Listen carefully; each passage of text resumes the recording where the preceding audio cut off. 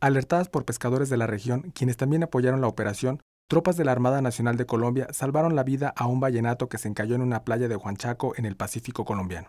Por causas aún desconocidas, el vallenato de aproximadamente 3 metros de largo y media tonelada de peso perdió su rumbo y se encalló en la playa. Debido al cansancio del animal y para facilitarle el regreso a su hábitat natural, fue remolcado de manera cuidadosa por una unidad de guardacostas hasta el mar abierto, donde fue liberado con éxito. Con información de Edelmiro Franco, corresponsal en Colombia, Notimex.